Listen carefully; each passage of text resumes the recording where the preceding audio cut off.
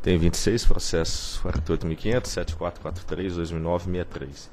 Autorização para a empresa Guarani S.A. estabelecer-se como produtora independente de energia, mediante a implantação e exploração da UTE Guarani Tanabi, localizada no município de Tanabi, no estado de São Paulo. Diretor relator, doutor Edvaldo Santana. Em 30 de 11 de 2011, a Guarani solicitou autorização para ampliar a capacidade instalada da UTE Guarani Tanabi, apresentando para a documentação necessária a emissão da outorga. Documentação foi complementada em 14 de 2 e 27 de 3 de 2012. Em 22 de 8, mediante nota técnica 334, a SCG fez análise do assunto e concluiu favoravelmente pela emissão do auto autorizativo. A minuta de resolução foi chancelada pela Procuradoria. É o relatório. Procuradoria. A Procuradoria chancelou a minuta de resolução, a qual está em condições de ser deliberada pela diretoria. Trata-se de solicitação formulada pela Guarani de outorga para a implantação e exploração da UTE Guarani Tanabi, utilizando bagaço cana-de-açúcar como combustível com potência instalada de 38 mil kW.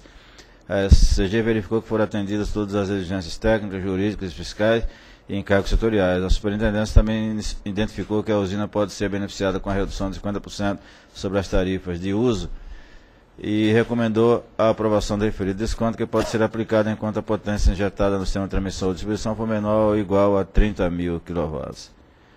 Diante do exposto, que consta do processo 48.500.7443, 2009-63, voto pela emissão de resolução na forma de minuto anexo que visa otorgar à Guarani S.A.